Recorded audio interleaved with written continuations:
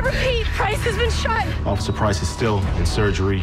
We have no further word yet on her condition. It's the wrong address. Get in the car! Get in the car! Two attacks on your division. You piss anybody off recently? That's gonna be a long list. Sounds like someone's targeting 15, so this case is top priority. Ford has a grudge against 15 Division. It's gotta be because of Marlo.